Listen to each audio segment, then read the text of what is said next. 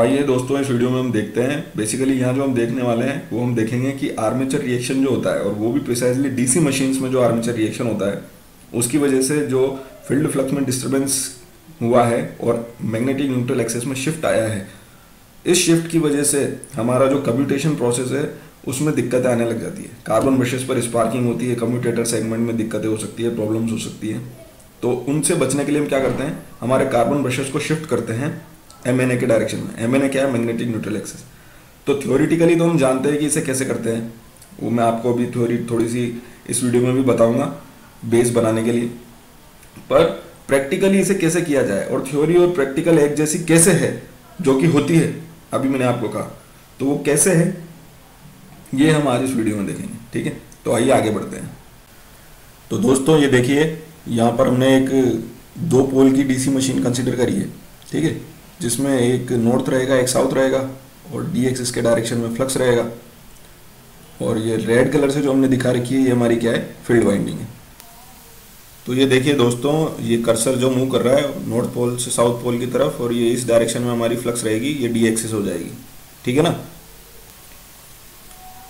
और ये हमने रोटर एक दिखाया है, क्योंकि जैसा हमें पता है कि डीसी मशीन्स में जो रोटर होता है वही आर्मेचर होता है, क्योंकि टॉर्क प्रोड्यूस भी उसी पे ही रहा है और ईएमएफ भी उसी पे ही प्रोड्यूस होगा, ठीक है?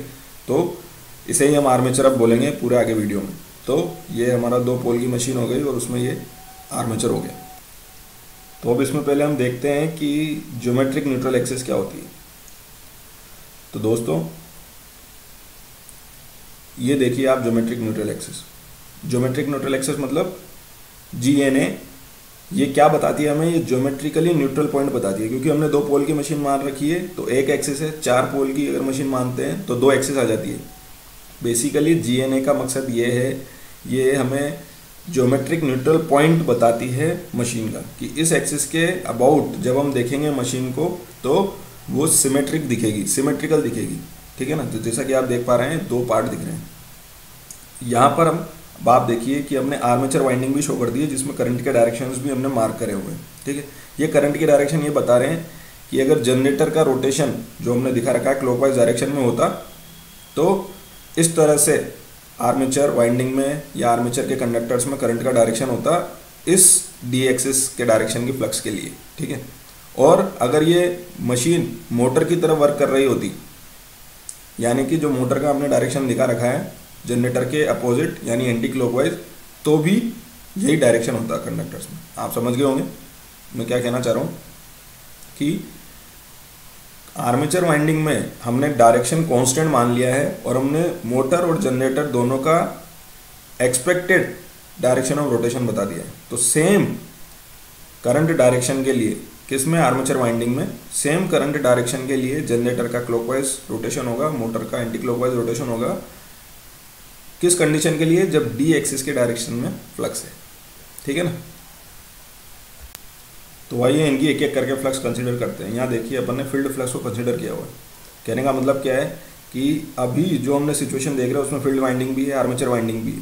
फ़ील्ड वाइंडिंग में भी करंट फ्लो हो रहा है, ये देखिए हमने दिखा रखा है, और आर्मेचर वाइंडिंग में भी करंट शो कर रहे हैं। पर हम कंसिडर कर रहे हैं, अभी सिर्फ़ फ़ील्ड फ्लक्स वाइंडिंग या फ़ील्ड वाइंडिंग को कंसिडर कर रहे हैं। सिर्फ़ फ़ील्ड फ्लक्स कंसिडर कर रहे हैं। ठीक है आर्मेचर वाइंडिंग कंसिडर नहीं कर रहे। तो आप देख सकते हैं कि सिर्फ़ अगर फ़ील्ड फ्लक्स कंसिडर करी जाए या फ़ील्ड वाइंडिंग कंसिडर करी जाए तो जो फ़ील्ड की वजह से फ्लक्स बन रही है, वो दोनों पोल में हाफ़ हाफ़ इक्वल डिस्ट्रीब्यूट दिख रही है हमें। और बनेगी भी सही, क्योंकि अभी कोई इसे डिस्टर्ब करने वाला नहीं है, ठीक है? तो अपर हाफ़ हो चाहे लोअर हाफ़ हो, जो हमारी ये फ़ील्ड फ्लक्स है, जिसको हम फाइव आर से डिनोट कर रहे हैं, ये दोनों में बराबर बनेगी, ठीक है? तो अगर मैं सिर्फ़ फ़ील्ड फ्लक्स को कंसिडर करूँ तो हम देख सकते हैं क्या कि डी एक्सेस की तरफ़ ही हमारा सारा फ़ील्ड फ्लक्स है, ठीक है? और क्यू एक्सिस की तरफ़ जो हमारा मैग्नेटिक फ़ील्ड इंटेंसिटी या मैग्नेटिक फ़ील्ड है बी वो ज़ीरो है।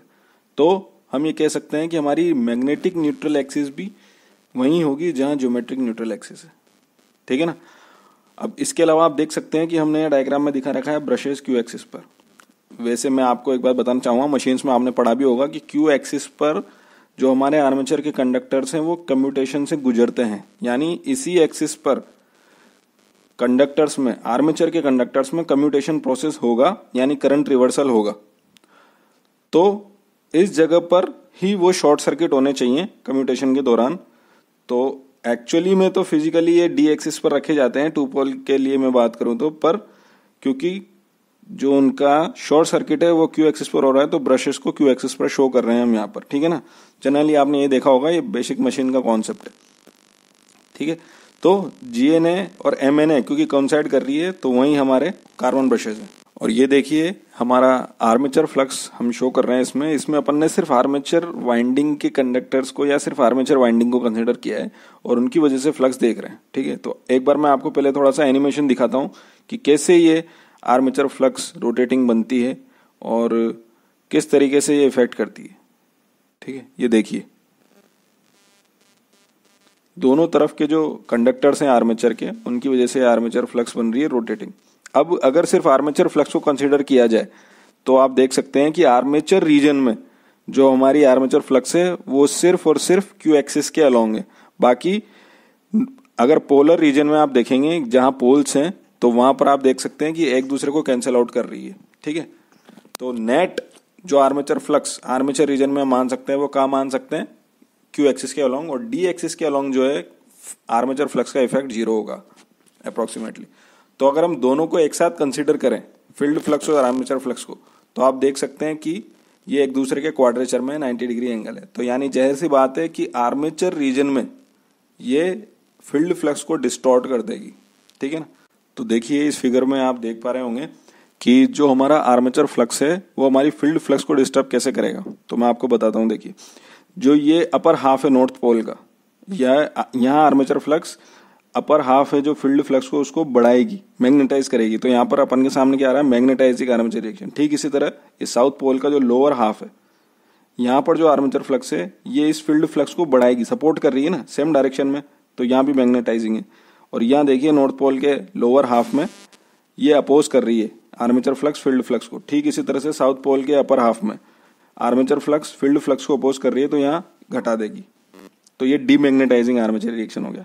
और जो हमारा आर्मेचर रीजन है, ये वाला, ये आर्मेचर रीजन में जो हमारा आर्मेचर फ्लक्स है, वो क्वाड्रेचर में हमारे फ़ील्ड फ्लक्स के तो ये इसको डिस्टोर कर डिस्टोर्ट कर देगी एक कुछ एंगल पर। तो कुल मिला के हमारे पास तीन टाइप का हमारा आर्मेचर रिएक्शन हो गया मैग्नेटाइजिंग आधे पोल में डीमैग्नेटाइजिंग आधे पोल में और क्रॉस मैग्नेटाइजिंग आर्मेचर रीजन में। तो यहाँ देखिए आप, ये मैग्नेटाइजिंग वाला रीजन है मैग्नेटाइजिंग आर्मेचर रिएक्शन ये देखिए, ठीक है ना?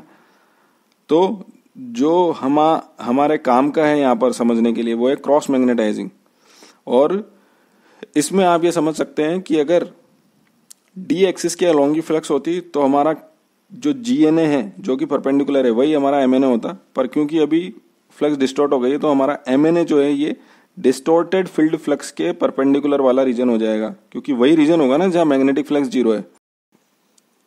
तो आर्मेचर रिएक्शन का इफ़ेक्ट क्या हुआ कि ये फ़ील्ड फ्लक्स जो डिस्टोर्ट हो गई आर्मेचर फ्लक्स की वजह से, उसकी वजह से हमारी मैग्नेटिक न्यूट्रल एक्सिस शिफ्ट हो जाती है। जनरेटर के डायरेक्शन में या मोटर के अपोजिट डायरेक्शन में। मशीन जैसे भी काम कर रही है, जनरेटर या मोटर, उसके अकॉर्डिंग हमारी एम शिफ्ट हो जाती है। ठीक है? थोड़ा और क्लियर आप ये इमेज देखिए, मैंने एक स्टैंडर्ड टेक्स्ट बुक से लिए, कितने सफ़ाई से अपन को दिखाया हुआ है। नॉर्थ से साउथ फ़ील्ड फ्लक्स जा रही है नंबर वन फिगर में। नंबर टू में सिर्फ़ आर्मेचर वाइंडिंग्स दिखाई हैं, जिनकी वजह से आर्मेचर फ्लक्स दिखाई है। और नंबर थ्री वाले फिगर में देखिए आप, क्या डिस्टर्बेंस का पैटर्न है, वो हमें दिखा रखा है। ठीक है ना? इसमें देखिए आप क्लियरली हमें बता रखा है एक्सिस है मैग्नेटिक न्यूट्रल एक्सिस, वो शिफ्ट हो गई है। और आप देख सकते हैं कि ये रोटेशन के उल्टे डायरेक्शन में शिफ्ट हुई है। तो ज़ाहिर सी बात है कि ये जो हमें फिगर दिखा रखा है, ये एक मोटर का होगा। ठीक है ना? क्योंकि मोटर के रोटेशन के अपोजिट डायरेक्शन में एम एन ए शिफ्ट होती है। तो यहाँ से हमें ये क्लियर हो गया कि अगर हमें कम्यूटेशन हेल्दियर चाहिए तो हमें कार्बन ब्रशेस को शिफ्ट करना पड़ेगा। देखिए आप तो पहले, क्योंकि एम एन ए और जी एन ए कॉन्साइड कर रही थी तो जी एन ए पर कार्बन ब्रशेस रखे हुए थे। मशीन हमने चलाई, मान लीजिए ऐसे जनरेटर चलाई, जैसा कि फिगर में बता रखा है तो आर्मेचर रिएक्शन की वजह से एमएनए शिफ्ट हो जाएगी और हमें पता है कि जहाँ एम है, वहाँ फ्लक्स का इफ़ेक्ट नेग्लेजिबल है तो कम्यूटेशन भी उसी पॉइंट पर होना चाहिए तो कार्बन ब्रशेज भी हमें शिफ्ट करने पड़ेंगे एमएनए वाली पोजिशन की तरफ़। ठीक है ना? तो जनरेटर के डायरेक्शन में एमएनए शिफ्ट होगी तो अपन ने शिफ्ट कर दिया। अब ये तो क्या पूरी थ्योरी है? ये तो पूरी थ्योरिटिकल बात हो गई। प्रैक्टिकली हम इसे कैसे करेंगे? और थ्योरी और प्रैक्टिकल में क्या अंतर है या नहीं है, वो अपन को देखना है। तो ये देखिए आप प्रैक्टिकल फिगर में आप लोगों के सामने लेके आया हूँ। यहाँ पर आप देख सकते हैं क्लियरली कम्यूटेटर दिख रहा है हमें, और उसके ऊपर कार्बन ब्रशेज हैं। ये कार्बन ब्रशेज एक, ये सर्कुलर डिस्क जैसा आपको दिख रहा होगा, जिस पर कार्बन ब्रशेज का होल्डर फिक्स है। देखिए आप, कितनी सफ़ाई से हमें कम्यूटेटर सेगमेंट भी दिख रहे हैं। और उनके बीच में माइक का इंसुलेशन भी दिख रहा है। ठीक है? ये हमारा कार्बन ब्रश हो गया ग्रेफाइट जो कि कम्यूटेटर से टच हो रखा है। और वो एक एल्यूमिनियम होल्डर में है कार्बन ब्रश होल्डर और ये एल्यूमिनियम केस जो है, ये इस डिस्क के साथ जुड़ा हुआ है। अब आपको हो सकता है लग रहा हो कि ये डिस्क फिर अपनी मोटर से जुड़ी हुई है तो जो ई एम एफ़ कम्यूटेटर पे होगा, वही उसके कार्बन ब्रश पे होगा, वही होल्डर पे होगा और वही इस डिस्क पे होगा और वो मोटर में भी चल जाएगा तो शॉर्ट सर्किट हो जाएगी। तो कार्बन ब्रशेज और उसके होल्डर को मोस्ट, ये मशीन की बॉडी से इंसुलेटेड रखने के लिए ये डिस्क जो बनाई जाती है, ये डिस्क इंसुलेटेड। है देखने में कलर सेम लग रहा होगा, ब्लू ही मोटर की बॉडी है, ब्लू ही डिस्क दिख रही है, पर वो इंसुलेटेड है, वो एक इंसुलेटर है। या आप उसे डायलैक्ट्रिक भी कह सकते हैं। डायलैक्ट्रिक मटेरियल है इंसुलेटिंग मटेरियल है इस डिस्क का, ठीक है? रखना भी चाहिए था, क्योंकि अगर नहीं रखते तो ये पूरी मोटर शॉर्ट सर्किट हो जाती, ठीक है ना? तो अब आप देखिए, ये डिस्क जो है, टोटल तीन नट बोल्ट्स पे ये फिक्स है, और हम क्या कर सकते हैं, हम इन नट बोल्ट को लूज करके इस डिस्क को रोटेट कर सकते हैं, घुमा सकते हैं इस पर अवर रिक्वायरमेंट ठीक है? इसमें देखिए, आप और क्लियरली आपको दिख रहा होगा कम्यूटेटर सेगमेंट कितने क्लियरली दिख रहे हैं, बीच में माइका इंसुलेशन भी दिख रहा होगा। तो हाँ और एक ये और देखिए आप कि ये पूरा जो सिस्टम है, ये पीछे ये सिल्वर कलर का जो थोड़ा सा चमक रहा है, ये बियरिंग है, जो कि मोटर बॉडी में फिक्स है, ये मोटर बॉडी है, या बियरिंग का बियरिंग फिक्स करने की पोजीशन है। शाफ्ट शाफ्ट के ऊपर कम्यूटेटर कम्यूटेटर के बाद शाफ्ट के ऊपर पूरा रोटर और ये पूरा असेंबली है, ठीक है। इस फिगर पे आते हैं अपन वापस, इसमें देखिए आप। अब अगर हम मशीन को रन कर रहे हैं, और मान लीजिए जनरेटर की तरह रन कर रहे हैं, और इसमें फुल लोड पर अगर हमारा जनरेटर चल रहा है और आर्मेचर रिएक्शन है। उसकी वजह से कार्बन ब्रशेज पर स्पार्किंग हो रही है या चैटरिंग का हमें साउंड सुनाई दे रहा है। तो अपन क्या करेंगे? अपन इन ब्रशेस को शिफ्ट करेंगे। तो वो शिफ्ट करने का तरीका क्या है? क्योंकि इंसुलेटेड डिस्क है। इन दोनों नट बोल्ट और एक नीचे जो तीसरा नट बोल्ट है, इनको लूज करेंगे थोड़ा सा। और जब जनरेटर चल रहा है तो जिस डायरेक्शन में रोटर घूम रहा है, उसी डायरेक्शन में इस डिस्क को घुमाएँगे धीरे धीरे एकदम चलते हुए में ये करना पड़ेगा। और जहाँ जिस पोजीशन पर जिस पोजीशन पर अब हमारा ये स्पार्किंग कम हो जाए और वो चैटरिंग साउंड कम हो जाए, उस पोजीशन पर लाकर इसको रोक देंगे, हमारी मशीन को बंद करेंगे और इन नट बोल्ट्स को वापस टाइट कर देंगे। तो ये पोजीशन हमारी कौन सी हो गई? ज़ाहिर सी बात है, ये पोजीशन वो होगी जिस पर नई एमएनए शिफ्ट हो गई है। ठीक है ना? बेसिकली हमने क्या किया? हमें पता नहीं है एम एन ए किधर है, हमें पता नहीं है जी एन ए किधर है, पर हमने क्या किया? उस डिस्क को घुमाया और जहाँ पर स्पार्किंग खत्म हुई, हमने वहाँ पर हमारे ब्रशेस को रोक दिया। तो ज़ाहिर सी बात है, वो उसी जगह पर पहुँच गए होंगे जहाँ पर कम्यूटेशन हेल्दी होना है, या जहाँ पर कंडक्टर्स में ईएमएफ e नहीं बन रहा है ड्यूरिंग कम्यूटेशन ठीक है ना? तो ये देखिए, जो थ्योरी में है, ठीक वैसा ही काम हमने प्रैक्टिकल में किया है। ब्रशेस को शिफ्ट करना है। कैसे करना है? ऐसे करना है। देख, कितना कितना इजी सा अपना अरेंजमेंट है। तो दोस्तों, अगर आप लोगों को वीडियो पसंद आया तो लाइक करिएगा और सब्सक्राइब करना मत भूलिएगा और बेल आइकन को ज़रूर प्रेस करिएगा ताकि इसी तरह के और वीडियोस हम आप तक पहुंचाते रहें, क्योंकि थ्योरी और प्रैक्टिकल ज़्यादा अलग नहीं है और इनमें रिलेशन दिखाना, इनको समझने के लिए थ्योरी को समझने के लिए प्रैक्टिकल समझना बहुत ज़रूरी है। तो सब्सक्राइब करना मत भूलिएगा और अपने दोस्तों के साथ शेयर ज़रूर करिएगा, ज्ञान बांटने से बढ़ता है, ठीक है? तो देखते रहिए, सीखते रहिए only at I deserve academy